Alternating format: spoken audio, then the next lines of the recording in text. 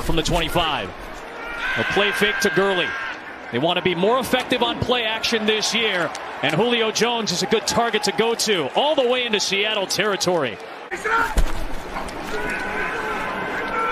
There's a first down pass deep for Julio Jones, and he's got it inside the 35 yard line. Beating.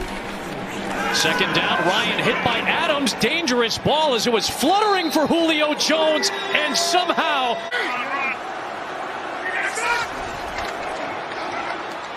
Matt Ryan with a clean pocket is going for the end zone, and it's caught. Welcome back from the injury, Julio Jones. Some pressure, able to get it away, and out to Julio Jones, and Jones does the rest. A little bit of a high snap. Ryan, is he going to run? No, he's going to oh, try oh. to dump it over the top, and he's got Julio Jones. And Julio Jones all the way in. And Matt Ryan, instead of going conservative, he goes back to the air and finds Julio Jones. Ryan open. Julio Jones inside the 20.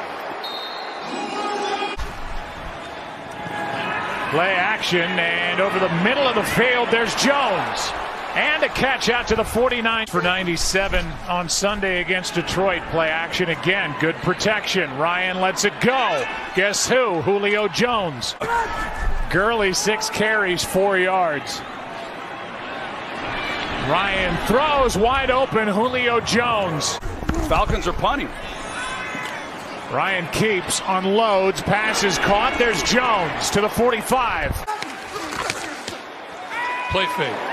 Ryan throwing all alone in the end zone for the touchdown is Julio Jones.